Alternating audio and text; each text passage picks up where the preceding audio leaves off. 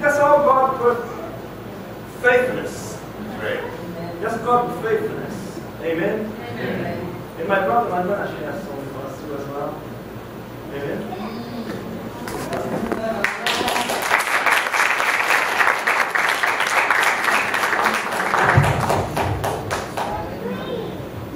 I want to say too, I'm, I'm very thankful uh, that God gave me a brother-in-law uh, like that.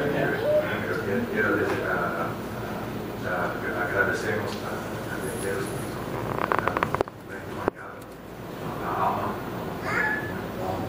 Amen. Every time, every time I come to your, your home, it's like the time passes so quickly.